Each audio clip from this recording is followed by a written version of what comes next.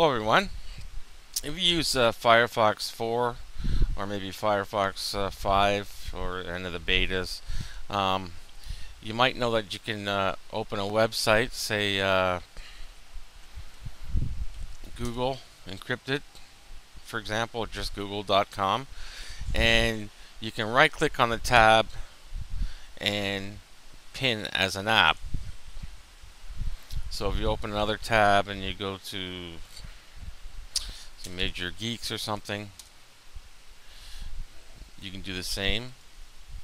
Pin as app, um, which is great. Um, but I found that after closing the browser, the uh, these pinned tabs would uh, disappear. They'd go away. But I've found a solution finally how to uh, make them stay. So I'll close this down to show you what I mean. So there's there's two here, Google and Major Geek. So I'll close these. Close the browser.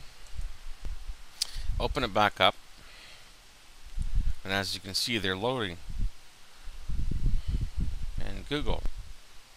And there's a new tab here. So it's the solution is really simple. You just go to options, however you have your uh, Firefox set up there's general tabs, applications, content, privacy. Uh, use custom settings if you want. Uh, what the important thing is is to where's my zoom here? There he is. I'll zoom in. Okay. Go over there somewhere.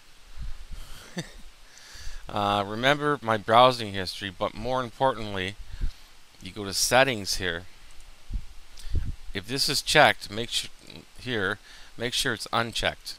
Browsing history. And you can have everything else, whatever you like here, but as long as that's um, unchecked, it should be working. And uh, press OK, and I'll uh, zoom back out. And like I said, so I'll close again. And your app tabs, your pin tabs are, are working. Okay, so just remember, just remember to uh, go to your privacy settings and uh, uncheck. Uh, I mean, yes, uncheck uh, delete browsing history in the settings um, part, and uh, it should be working at that point. Now, of course, if you run something like CCleaner and you have it to delete your browsing history, these will be gone. So you can uncheck that option. And speaking of uh, Cleaner, there's a new one out today. okay, so anyway, that's about it. Um, I hope you found this useful. I've been looking for an answer for quite a while, so um, I know some others have too. So anyway, thank you very much for watching, and uh, as always, have a good one, and uh, talk to you later.